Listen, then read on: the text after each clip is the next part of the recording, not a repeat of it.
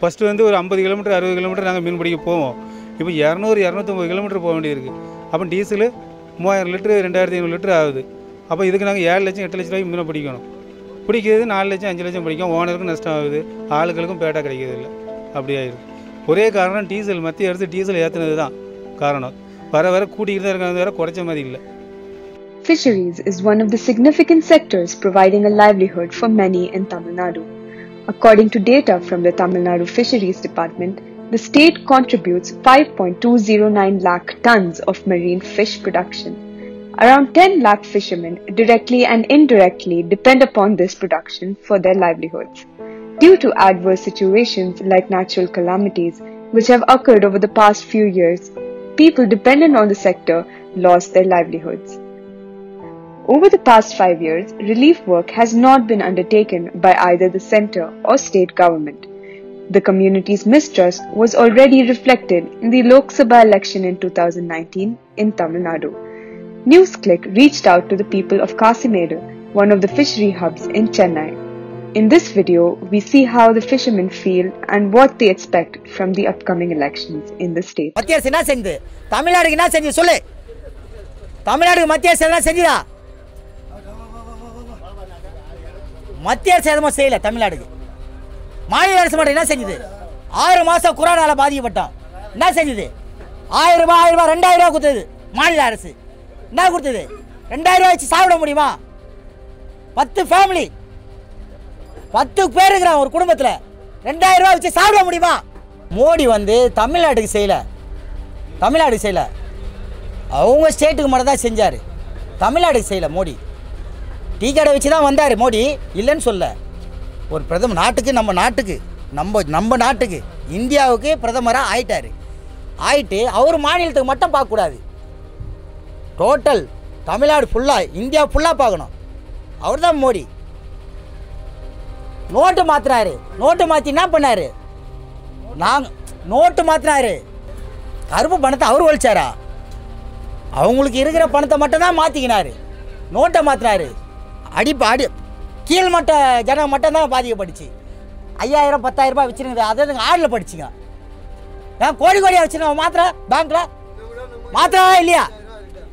கோடி கோடியாக வச்சுருக்கிற பேங்க்கில் போய் மாத்திர? நாங்கள் தான் கஷ்டப்பட்டோம் அதுலேயும். மீன்வளைத்துறை அமைச்சர் ஜெயக்குமார் டி ஜெயக்குமார் அவர் என்ன தெரியுமா? எங்களுக்கு நன்மை செய்கிறேன் நன்மை செய்கிறேன்னு சொல்லிட்டு அவர் எங்களுக்கு நன்மையே செய்யலை. நன்மை செய்யலை. டீசல் மானியம் வந்து யார் யார் யார் ஏற்றுறது அவர் தானே செய்யணும்? எங்களுக்கு மீன் வளர்த்துறை அமைச்சர் அவர் தானே செய்யணும்? ஏன் செய்யல? செய்யணும்ல. தொழிலாளர் கஷ்டப்படுறாங்கன்னு சொல்லிட்டு எங்கள் மீன்வள எங்கள் அமைச்சர் தானே? எங்கள் எங் எங்கள் ரத்தம் தானே நீ? செஞ்சு தானே ஆகணும். எங்களுக்கு யார் செய்யறது? எங்களுக்கு நீ தானே செஞ்சாகணும். யார் செய்ய மாட்ற? யார் செய்ய முடியல உன்னால? உங்ககிட்ட எதுவும் அதிகாரம் இல்லையா உங்ககிட்ட உங்களை யார் வர வச்சா? நாங்கள் தானே வர வச்சோம். எங்களுக்கு செய். பத்து வருஷமாக ஆட்சி நடந்துன்னு இருக்குது நடந்து நடந்துபடியே தான் இருக்குது ஏழை மக்கள்லாம் இன்னமும் அப்படியே தான் இருக்காங்க. பணக்காரன் வந்து பணக்காரன் ஆகிட்டு தான் போயிருக்காங்க ஏழை மக்கள் இன்னமும் அப்படியே தான் இருக்கான். எங்களுக்கான உரிமை எதுவுமே இன்னும் கொடுக்கல. சரியாக செய்யல. எங்களுக்கான எல்லாம் உதவி எதுவும் பாதுகாப்பு எதுவும் செய்ய மாட்டேங்கிறாங்க. கொரோனா டைம்லலாம் ரொம்ப கஷ்டப்படும் அப்போல்லாம் ஒன்றுமே செய்யலை. அரசாங்கம் என்ன இன்னும் ஒன்றுமே செய்யலை. என்ன செஞ்சுச்சு அரசாங்கம் செஞ்சீங்களே செஞ்சால் நாங்கள் அதுமாரி பேச போகிறோம் சொல்ல போகிறோம் ஐஸு பிடிக்கும்போது எல்லாம் இதுவாக பிடிக்கணும். ஓஸ் வரும். மிஷின்லாம் இருக்குது.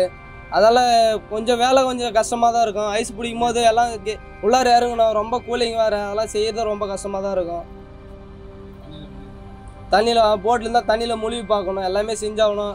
போட்டில் ஏன்னா அது ரெக்கையில் வந்து ஏன்னா ஒயர் கீர் மாட்டின்னு இருக்கா? எல்லாம் நூல் மாட்டின்னு இருக்கா? எல்லாம் உள்ள முழுவி பார்த்து எல்லாம் க்ளீன் பண்ணி விடணும். இதான் நாங்கள் செய்கிற வேலை வரும். இதெல்லாம் செஞ்சு போட்டு போய் வந்தால் தான் எங்களுக்கான வருமானம் வரும். கஷ்டம்னா அது அது வாயால் சொல்ல முடியாது. அதை பார்த்தா தான் சொல்ல முடியும். வாயால் சொல்கிறது கஷ்டம்னா நான் கஷ்டப்படுறேன் அப்படின்னு சொல்ல முடியாது. கஷ்டம்னா கடினமான கஷ்டம். இந்த இங்கே இங்கே மட்டும் இல்லை. இங்கே கஷ்டப்படுறது மட்டும் இல்லை. கடல் மேலே போகிற கஷ்டப்படுறது தான் பெரிய கஷ்டம். டீசல் பிடிக்கணும். டீசல் வந்து இப்போ ஒரு பத்து நாள் அனுப்புகிறோன்னா ஒரு நாலாயிரம் லிட்டர் டீசல் பிடிக்கணும். நாலாயிரம் லிட்டர் டீசல் பிடிச்சிடணும். ரேஷன் வந்து ஒரு இருபத்தையாயிரரூபா அவங்க ரேஷன் கொடுக்கணும். இன்ஜின் சம்மந்தப்பட்ட பொருள் ஃபேர் பொருள் வாங்கி போடணும்.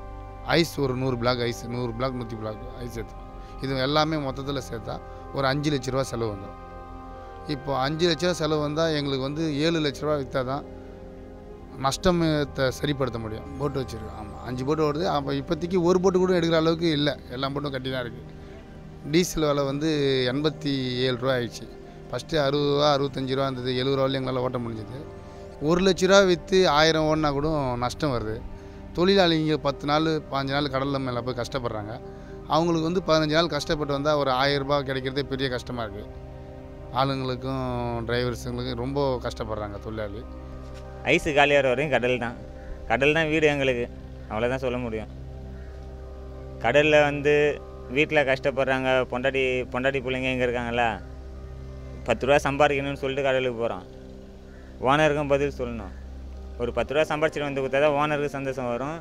ஆளுங்களுக்கும் கூப்பிட்டு போகிற ஆளுங்களுக்கும் சந்தோஷம் வரும். அது எல்லாத்தையும் பார்க்கணும்ல. ஆனால் அங்கே தேர்தல் வந்து ஆறாம் தேதி அப்படின்னு சொல்கிறாங்க தடைக்காலம் வந்து பதினஞ்சாம் தேதி தடைக்காலம் அப்படின்னு சொல்லி எப்போதுமே ஆட்டோமேட்டிக்காக தடைக்காலம் வந்துகிட்டு இருக்கோம். ஆனால் இந்த பதினஞ்சாம் பதினஞ்சாம் தேதி ஸ்ட்ரைக் அப்படிங்கும்போது ஆறாம் தேதி வைக்காங்க. எல்லோரும் கடலுக்கு போனோம்னா பத்து நாள் பதினஞ்சு நாள் கழிச்சு தான் வருவாங்க எல்லாருமே வருது பொதுவாக அப்படின்னா இந்த தேர்தல் இப்படி வச்சா எப்படி நாங்கள் மீனவர்கள்லாம் ஓட்டு போட முடியும்? டெய்லி பைப்பு இருக்கு அன்னாடி போயிட்டு வர்றவங்க வேணால் ஓட்டு போடுவாங்க. அப்போ இதில் வந்து ஒரு அஞ்சு லட்சம் பத்து லட்சம் பேர் ஓட்டு போட முடியாது. இந்த தேர்தலை வந்து தள்ளி வைக்கிறது கொஞ்சம் நல்லது. அதெல்லாம் மீனவர்கள் ஓட்டு உள்ளது இதோட அதுதான் என்னுடைய குறிக்கோள். இந்த மோடி வச்சாங்க ஒரு பத்து வருஷம் வச்சாங்க இந்த ரொம்ப தொல்லையாக இருக்குது.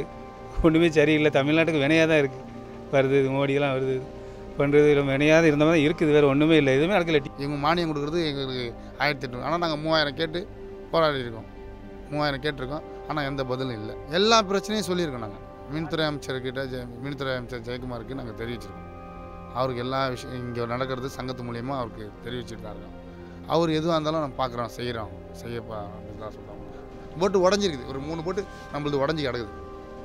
அதை சரி பார்க்கவும் நம்மள்ட்ட இல்லை. ஆமாம் ஆனால் நாங்கள் ஃபோட்டோ எடுத்துகிட்டு போயிட்டு ஏடி ஆஃபீஸில் காட்டினோம். மின்துறை அமைச்சருக்கு தெரிவித்தோம் அவர் வந்து இங்கே வந்து சுற்றி வந்து பார்க்க வந்தார் போட்டுங்களை. அப்போ வந்து பார்த்துட்டு போனார். எல்லாம் செய்வோம்ப்பா. எதுவும் கவலைப்படாதீங்க. எல்லாத்துக்கும் உங்களுக்கு செய்வோம். ஆனால் செய்யலை. எதுவும் செய்யலை. நிவாரணம் அறிவித்தாங்க ஆனால் யாருக்கும் தரல. இதுவரையும் யாருக்கும் எந்த நிவாரணமும் வரல. இப்போ இதுவரையும் எடுக்கலை. எங்கள் கோரிக்கையை எடுத்து ஒன்றும் போல திருப்பி வந்து பண்ணோம் இதையே ஆளும் போதே எங்கள் கோரிக்கையை எடுத்து ஒன்றும் செய்யலை. திருப்பி வந்து வந்து அவங்க செய்வாங்களான்னு எதிர்ப்போம் இப்போ போட்டுங்க வந்து இங்கேருந்து இங்கே வருமானம் இல்லாமல் அந்தமான் வரலையும் போக ஆரம்பிச்சாச்சு. இது வரலையும் போனதில்ல. இந்த வருஷத்தில் அந்தமான் முடியும் போட்டுங்க போக ஆரம்பிக்கிறாங்க. இங்கேருந்து ஓட ஓடியாரவே ஒம்பது நாள் ஆகிடும் ரன்னிங் அதுக்கப்புறமா தான் தொழில். ஆனால் தொழிலுக்கு அவ்வளோ நம்பி போய் நஷ்டம் தான் வருது. லாபம் இல்லை